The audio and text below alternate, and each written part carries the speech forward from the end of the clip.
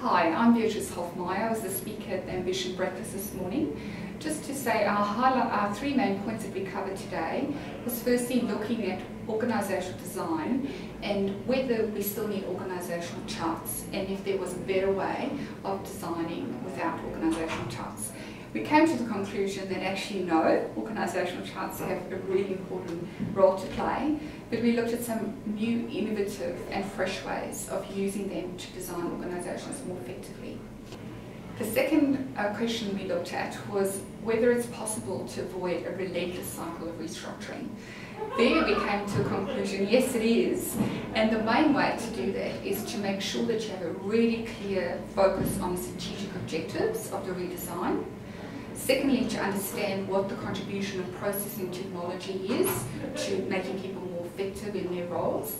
And lastly, having a thorough and systematic way of approaching the design of the actual roles. And there we presented a model on how that should be done. The third question we talked about was whether it's possible to a restructure without negatively impacting cultural, culture and employee engagement.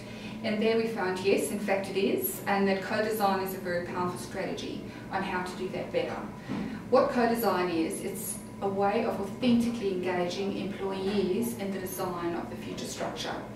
And how one does that is at each stage of the design, there are points where you draw them in, ask for their input, and help them allow them to shape the design of the roles. Um, this has the impact that you have a much smoother implementation and a very high degree of buy-in for your future organisation.